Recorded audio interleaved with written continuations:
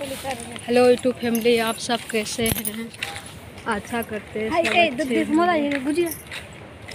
अच्छे होंगे। ही होंगे और मैं भी ठीक हूँ।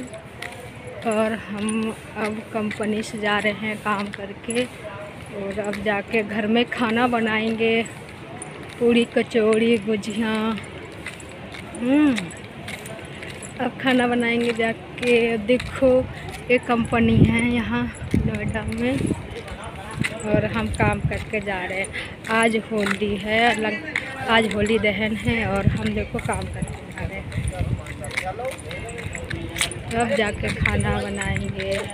तो खाएँगे भाई।